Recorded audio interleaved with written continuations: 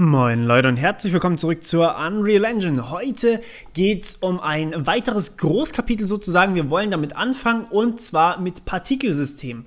Und ähm, ja, ich möchte euch ganz kurz ein sozusagen fertiges Partikelsystem mal vorstellen. Könnt ihr finden unter ähm, dem Starter Content Particles und dann habt ihr hier einige coole Partikelsysteme. Ich zeige euch einfach mal kurz die Explosion, ähm, wobei die ist eigentlich relativ naja, sie ist nicht so cool, weil man ähm, tatsächlich, wenn man sie reinzieht, sieht man nicht so viel, weil dann schon alles vorbei ist. Das ist ziemlich geil, muss ich sagen. Ähm, vielleicht ein bisschen hierher. So, wir sehen hier Feuer und dieses Feuer ist natürlich hier, ähm, ja, es verändert sich, wie sich Feuer halt eigentlich verändert. Es ist eine Animation, das heißt, es verändert sich über die Zeit automatisch. Und es ist nicht einfach nur so ein Material, sondern ihr seht hier, dieses Feuer hat erstmal Rauch, dann hat es Flammen und diese Flammen verändern sich wirklich dreidimensional.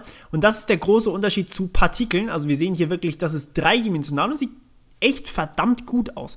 Und solche Partikelsysteme wollen wir in den zukünftigen oder in den nächsten paar Videos jetzt kreieren. Ich weiß, viele von euch wünschen sich immer noch sehr, sehr stark C++ äh, Unreal Engine. Keine Sorge, das kommt noch, keine Sorge. Ähm, das Ding ist, dass ihr selbst solche Sachen hier nicht mit C++ machen wollt, glaubt mir.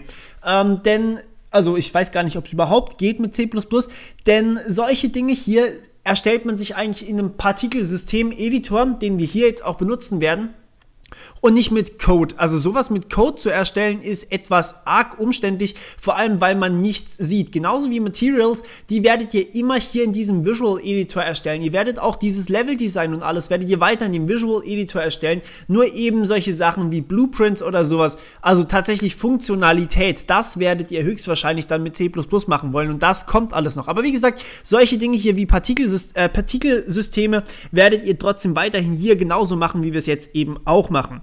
So, ähm, wir wollen uns jetzt also selber ein Partikelsystem erstellen. Ich lasse das hier trotzdem mal drin. Ne, ich lasse es nicht drin. Ähm, und zwar gehen wir dazu wieder mal in den Ordner My Content. Ihr seht, hier haben wir immer noch diese ganzen Materials von den letzten paar Malen. Wir gehen jetzt hier in diese Ecke. Oh, da ist ja noch ein bisschen Platz. Ähm, kann man nachher was hinmachen, was vielleicht leuchtet oder so. Genau. Und ähm, erstellen dort mit Rechtsklick und Partikelsystem ein neues Partikelsystem.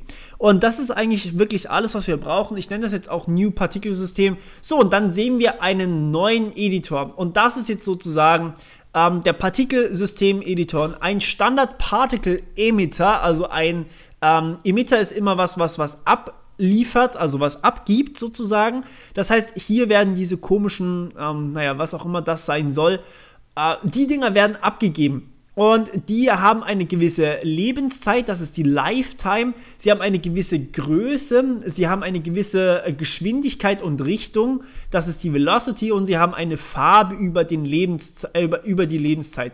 Wenn ich jetzt hier, sagen wir mal, einzelne ausstelle, dann sehen wir hier, wenn sie keine Velocity haben, haben sie weder eine Richtung, noch haben sie irgendwie einen Sinn und einen Zweck im Leben und äh, sterben sozusagen dort, wo wir sie äh, ja, wo wir sie spawnen lassen. Das heißt, ohne Velocity passiert erstmal gar nichts. Ähm, da habt ihr einfach ein statisches Ding, was nichts macht. Das heißt, die Velocity ist dafür verantwortlich, dass die Dinger sich bewegen. So, und jetzt haben wir aber natürlich nicht für jedes Partikel dieselbe Velocity. Manche gehen ein bisschen mehr nach links, manche ein bisschen mehr nach rechts, manche leben vielleicht ein bisschen länger und das wird alles über sogenannte Distributions gehandelt. Das sind diese Distributionen, das sind Wahrscheinlichkeitsverteilungen. Jetzt solltet ihr euch vielleicht mal ganz kurz in meine Wahrscheinlichkeitstheorie-Serie reinlesen oder reinhören oder reinschauen oder whatever. Ähm, Gibt es bei mir natürlich auf dem Kanal Kanal und äh, ja, dürfte klar sein. Ähm, wir haben hier Distribution Vector Uniform. Das bedeutet so viel wie eine gleich verteilte äh, Verteilung haben wir hier. Wir können aber auch das Ganze als Kurve modellieren. Wir können es, ja, wir können verschiedene Parameter einstellen. Wir können hier sagen, okay, wir, ähm, also diese Dinger hier sind jetzt gleich verteilt. Ein paar gehen halt nach links, ein paar gehen nach rechts. Wir können jetzt hier zum Beispiel hergehen und sagen, Mensch, wir wollen, ähm, dass x maximal ähm, vielleicht was anderes sein kann. Also x ist in dem Fall diese rote Achse hier. Das heißt, wenn wir hier dieses x hochstellen, dann geht das immer noch ein bisschen mehr nach links. Und jetzt sehen wir hier, die Teile sind immer noch gleich verteilt. Das heißt, ähm, der maximale Wert für nach links ist jetzt halt 100. Das heißt, er ist deutlich mehr nach links als nach rechts. Nach rechts haben wir nämlich nur minus 10. Also nach rechts ist quasi die negative Achse, muss man sich erst dran gewöhnen. Ist äh, ein bisschen komisch, aber ist halt tatsächlich so. Ähm, und ja, wir haben jetzt hier immer noch gleich verteilt zwischen dem Wert 100 nach links, also 100, und nach rechts dann ähm, eben minus 10.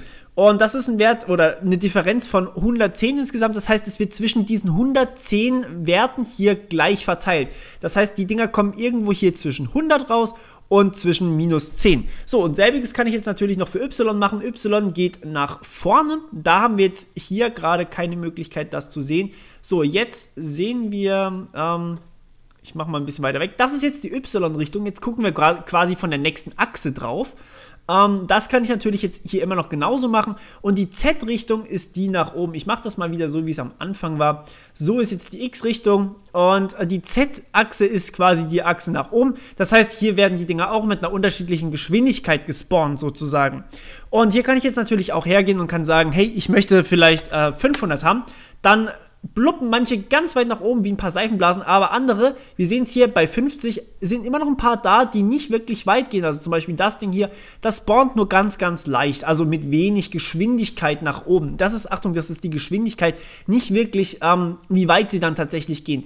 Äh, die Dinger haben einfach eine feste Geschwindigkeit und wie weit sie dann gehen, ist wiederum von einer anderen Wahrscheinlichkeitsverteilung abhängig, nämlich von unserer Lifetime. Und hier sehen wir ähm, Distribution Float Uniform. Das heißt, wir haben hier eine ähm, zufällige Lebenszeit von eben 1,0 bis 1,0. Naja, also leben sie exakt eine Sekunde und nicht weniger und nicht mehr. Denn wenn wir zwischen 1 und 1 versuchen, eine gleich verteilte Wahrscheinlichkeit zu finden, dann werden wir wahrscheinlich meistens bei 1,0 rauskommen. In manchen Fällen vielleicht bei 0,99999, in manchen anderen Fällen bei 1,00001, aber ähm, normalerweise bei 1,0. So, das heißt, wir können jetzt hier vielleicht ein bisschen rumspielen und zwar manche von den Dingern lassen wir einfach früher sterben, weil wir gerne brutal sind. Und das heißt, wir haben jetzt hier ein paar Teiler, die schon früher sterben und wir sehen hier auch wirklich ein paar sterben schon sehr, sehr früh, während andere eben erst sehr viel später sterben. Also wir sehen, jetzt gehen sie wirklich sehr weit raus und andere sterben sehr viel früher. Blob, hier sind gerade ein paar gestorben, obwohl sie gerade erst rausgekommen sind. Andere schweben eine halbe Ewigkeit hier nach oben, also 1,5 Sekunden im Endeffekt. Äh, ist keine halbe Ewigkeit, aber okay. So, äh, und das sind diese, naja, wichtigsten Dinger erstmal. Die anderen möchte ich jetzt hier noch gar nicht behandeln. Da werden wir auch noch drüber reden. Ich möchte euch aber noch ein paar andere Sachen zeigen. Und zwar wollen wir natürlich nicht, ups, äh, wollen wir natürlich nicht immer nur einen Partikelemitter haben, sondern wir wollen vielleicht einen zweiten Partikelemitter haben. Und das können wir so oft machen, wie wir wollen. Wir können aber auch dann wieder eben hier einen Emitter löschen und einen weiteren Emitter löschen. Ähm, das heißt, wir können hier so viele, wie wir wollen, kombinieren. Und wir werden uns jetzt mal ganz kurz im Feuer umsehen. Ähm, klar, man kann auch hier sagen, ah, nicht doppelklicken, ähm, man kann auch hier sich einstellen, was dann eben tatsächlich hier rauskommen soll. Man hat hier haufenweise Einstellungen. Man kann noch weitere Module hinzufügen, eben auch hier rüber. Also zum Beispiel irgendwas über die Beschleunigung, über die Farbe, über irgendwelche Events oder sowas, wenn man drüber fliegt oder sowas. Irgendwelche Größen. Ähm, also man hat wirklich sehr, sehr viele Möglichkeiten hier. Und ähm, ja, wir wollen uns das Ganze jetzt noch kurz beim Feuer angucken. Da habe ich nämlich schon mal was, also das ist bei euch auch schon drin und da kann man sehr, sehr schön verschiedene Emitter in Aktion sehen. So, wir haben hier jetzt also ein bisschen Feuer. Was das alles genau macht, könnt ihr euch gerne mal selber angucken. Wir haben hier sehr, sehr viele Emitter und wir sehen hier Sparks, heißt so viel wie Leuchten, Embers, äh, jetzt sollte man Englisch können. Ne? Ähm, Distortion ist irgendwie, ja, wir gucken uns jetzt einfach mal ganz kurz die Dinge an. Und zwar kann man hier umstellen zwischen S und Haken. Wenn ich jetzt auf S gehe, dann sehen wir, ist nur die Flamme an. Das bedeutet so viel wie Solo. Das ist wirklich nur allein dieser Flammeneffekt, aber wir sehen natürlich, da ist eigentlich noch mehr dabei. Dieses Rauch, seht ihr diese Rauchwolke da? Wenn ich auf Solo gehe, ist die weg. Das ist ein anderer Partikelemitter. Die werden also kurzzeitig ausgeschaltet. Das ist super zum Debuggen, damit man einzelne Partikel angucken kann. Wenn ich jetzt hier auf Haken gehe, beziehungsweise den Haken rausmache, dann sehen wir, ähm, wird das Ding hier nicht mehr angezeigt. Das ist jetzt tatsächlich ein anderer. Ich kann jetzt den auch noch rausmachen. Dann sehen wir, es, wird, es werden gar keine Flammen mehr angezeigt. Wir haben hier sozusagen zwei Flames Partikel-Emitter. Einer, der so ein bisschen hier auf einer Stelle bleibt und der andere, der eher ähm, ein bisschen, ja okay, sie sind beide sehr, sehr ähnlich. Kann man nicht wirklich gut einen Unterschied erkennen, aber damit könnt ihr einzelne Emitter ausstellen. Wie gesagt, zum Debuggen und zum selbst ähm, machen. Und ähm, ja, das ist auch sehr nützlich. So, Und jetzt noch zu was anderem. Wir sehen auch die Anzahl von Partikeln, die emittiert werden. Hier sehen wir, oben ist eine 7 angegeben. Ups. Ähm, und ja, äh, hier sehen wir auch, diese 7 finden wir hier unten wieder. Und da sehen wir aber, es sind nicht immer 7, es sind maximal 7 Flammen auf einmal. Ähm, das liegt daran, wie wir eben hier zum Beispiel diese Lifetime einstellen, das heißt, wie lange diese Dinger eben leben können, wie viele auf einmal spawnen. Das heißt, wie viele eben hier beim Spawn eingetragen sind, konstant fünf Stück bei uns jetzt in dem Fall, ähm, wie viele Flammen da also auf einmal leben sozusagen und wie viele dann durch diese, ähm, durch diese Lifetime eben auch maximal kommen können. Bei uns können jetzt maximal sieben Stück kommen, weil wir hier eben beim Spawn eben fünf als Konstante eingestellt haben und eine Lifetime von 0,7 bis 1,0. Und ähm, eben durch diese Gleichverteilung können dann bis zu sieben Flammen kommen, scheinbar. Hm, okay, ähm, macht nichts. Auf jeden Fall kann man sich da errechnen lassen, wie viele maximal kommen können. Das ist das hier oben. Wir sehen hier, davon können maximal 50 kommen, was auch immer das ist. Das schauen wir uns jetzt mal ganz kurz an. Ah, das sind diese kleinen äh, Leuchtflämmchen da. Ähm, während bei den Flammen eben nur 7 kommen können. Und hier sehen wir dann, wie viele tatsächlich rauskommen. Und hier sehen wir plötzlich, dass wir auch zwischen 48 und 64 immer mal wieder ganz gerne rumschwanken. Das heißt nicht nur 50, offensichtlich ist das nicht das Maximum. Habe ich gerade Schluss erzählt. Naja, egal. Auf jeden Fall kann man hier dann die tatsächliche Anzahl von den Dingern sehen.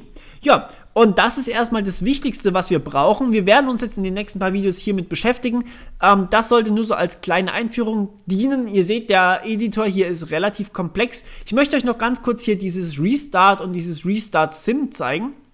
Ähm, aber an einem anderen Beispiel. Wir sehen hier, bumm, Explosion. So, und jetzt ist weg. Wie debugge ich das Ding jetzt? Naja, es geht quasi immer wieder von vorne los, aber unten steht, wenn ihr mal kurz aufpasst, completed.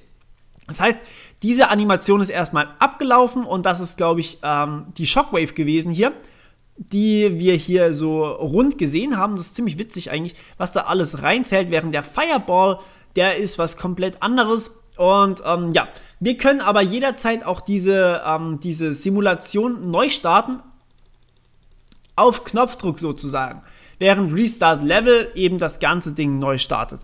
Okay, ähm, ja, das als kleine Einführung. Ich hoffe, es hat euch erstmal gefallen. Ihr habt jetzt Bock auf Partikel-Emitter, äh, Emitter, denn ich habe, als ich das erste Mal davon gehört habe, oh, musste ich sofort irgendwie an Dragon Age denken und berechnende Blutpartikel oder was auch immer die da in ihrer ähm, in ihrer Demo drin hatten. Ich fand das damals mega geil und ja, das muss ich hier natürlich auch irgendwie ähm, muss ich irgendwie hier auch widerspiegeln, dass ich Partikelemittoren irgendwie echt cool finde.